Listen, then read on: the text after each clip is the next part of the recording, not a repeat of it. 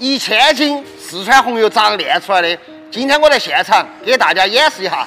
首先，第一步，二荆条和朝天椒按三比七的比例调好的海椒面儿下去，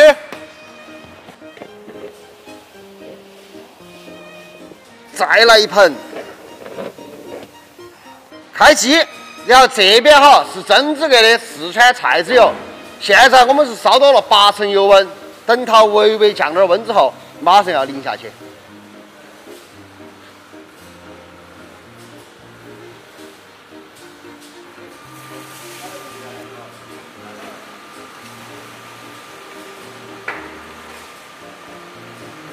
趁着现在有温度哈，花椒面要下去，这样子才能把花椒面的味道给它激发出来。这个是我们用的汉源花椒面哈，这个是细的二荆条，下去。这个时候哈，我们油还没有加完，等到锅里面的油降到一百二十度左右的时候，我们再往里头加。不要着急哈，现在还装不成，为啥子？真正好的四川红油还要焖它一晚上，它才香味才出来到。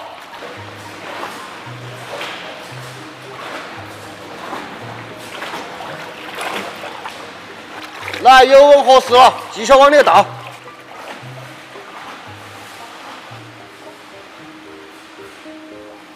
油倒完了以后哈，这个红油我们还不会装瓶，为啥子？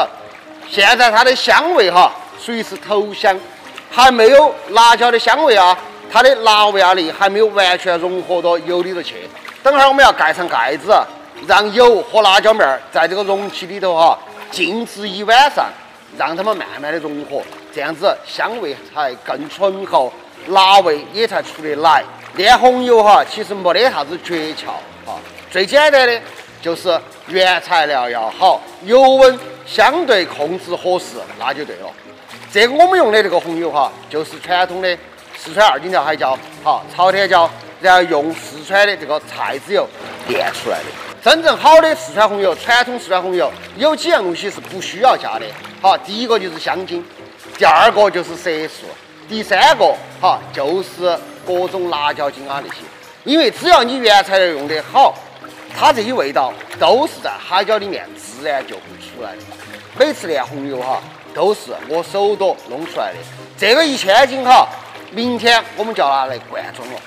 有人说你那么麻烦干啥子？喊厂头做了就要得了嘛？为啥子？是因为我这个人呢。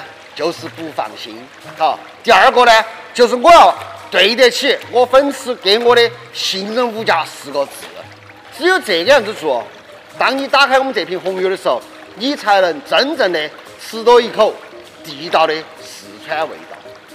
巴不巴适的板，倒下就晓得了噻。